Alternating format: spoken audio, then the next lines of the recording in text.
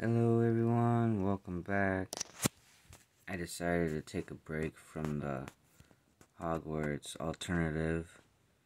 So I decided to build this. I had this since last year. QE Queer Eye, the Fab 5 Loft set. 18 and up, 10291.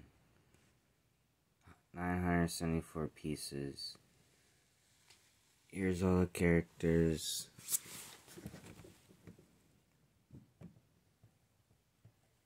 It also comes with a pug.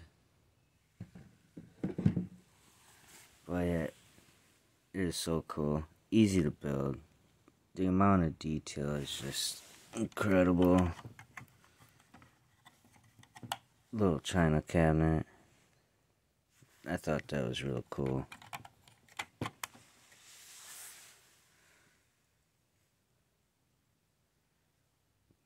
Got the barber shop.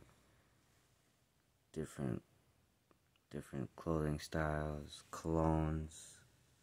Didn't put any stickers on anything, but there's a mirror right there.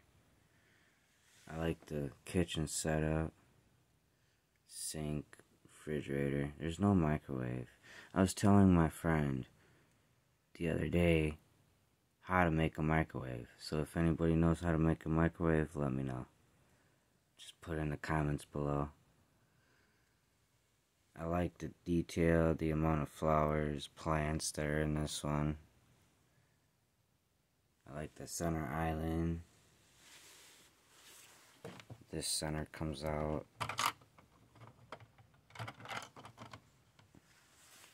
But yeah, this side has the window. Here's the TV that you build that goes with it. It's a little dusty. This comes off. And this spins. So like you put the person on one side one way, have the other version on the other side, and then when you rotate it, she'll come out in different styles, different hairs, pants. But yeah, overall, I like the color de color design. The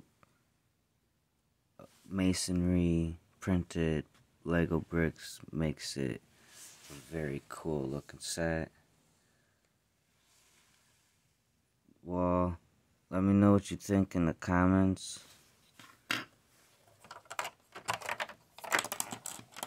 If you haven't subscribed, subscribe. I always got content coming. Next video, probably gonna be another updated version of the Hogwarts alternative. Either way, this set is awesome. There you have it. The Fab 5 Loft. That's it for now.